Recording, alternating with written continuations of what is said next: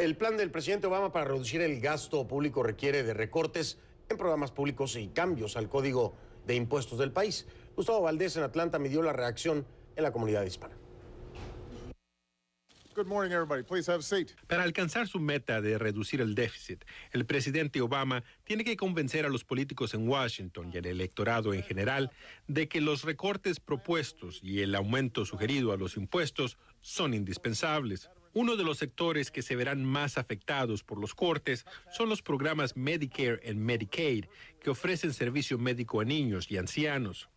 Heidi Guzmán, la directora de la Coalición Hispana de Salud de Georgia, dice que, a pesar de que el presidente Obama prometió que el nivel de servicio no se verá comprometido, cualquier recorte afectará al programa. Quizás no a los servicios o al cheque específico que las personas están recibiendo de Medicare, pero sí va a afectar el sistema en general. Guzmán asegura que el 8% de los más de 45 millones de personas que reciben este servicio son hispanos y que ese número aumentará en los próximos años, por lo que cree es necesario hacer ajustes al programa.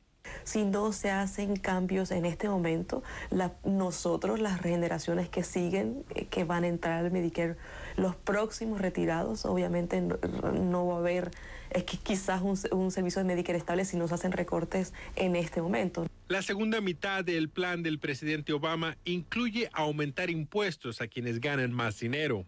La contadora Ana Fujiwara, quien es especialista en cuestiones de impuestos, dice que la incertidumbre de ese plan pudiera afectar las finanzas de los negocios. A nosotros los hispanos no nos gusta la incertidumbre. Es algo que nos gusta saber a dónde vamos y, lo que voy a tener este año lo voy a tener el próximo año, lo voy a hacer así. Y sí, incrementa la incertidumbre para, para todos los negocios. El presidente también quiere eliminar deducciones a familias que ganan más de 250 mil dólares al año y eliminar las lagunas fiscales que existen en el código actual de Hacienda. Pero Fujiwara dice que aún así será posible para aquellos que puedan contratar un buen contador encontrar maneras legales de disminuir el aumento de los impuestos. Porque ese es nuestro trabajo. Nuestro trabajo es estar del lado del cliente y minimizar legalmente los impuestos del cliente.